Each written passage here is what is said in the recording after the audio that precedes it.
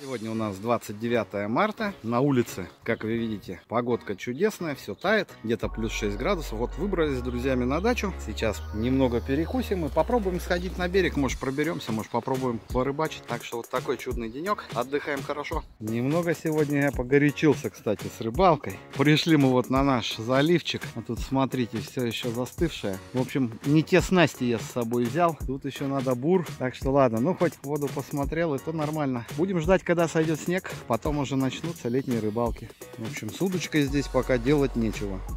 Ну, в общем, что, друзья, до берега дойти дошел, посмотрел. Летняя рыбалка, короче, сегодня никак у меня не получается. То есть надо было еще брать с собой зимние снасти. Сами видели, там лед. Так что потопал я на дачу жарить мясо и отдыхать. А летняя рыбалка тогда будет у нас впереди. Рецепт шашлычка очень простой. Свиная грудинка, немного специй, перчик обязательно, соль и майонез.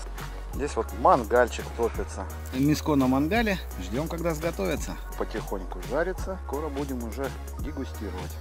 Ну все уже готовы. Вот этот крайний может быть еще сыроватый. Так они, мне кажется, все уже, да? Нормально? Ну да, мягенько уже. Мягенько. Можно, наверное, уже будет идти к столу. Смотрите, какая красотища у нас получилась. Первые шашлыки на даче.